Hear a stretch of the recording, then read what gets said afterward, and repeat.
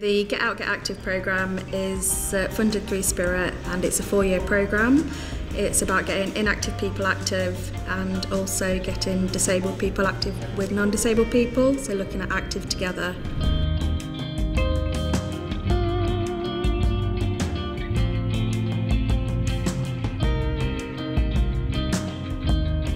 I was the mentor, Steve was the mentee, and basically the whole objective was to get both of us being active. Taking part has made me happier, it gives me confidence and faith in humanity, and I've even been in part-time employment for the past few months now.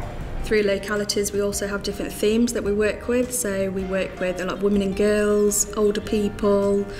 We work in very deprived communities and localities, kind of nationally, and uh, BME communities as well. We've got 10,000 participants involved in GOGA so far, and we've still got another 16 months of the programme left.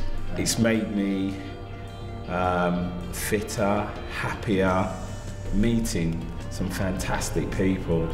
You know, it's really, really um, opened my world up.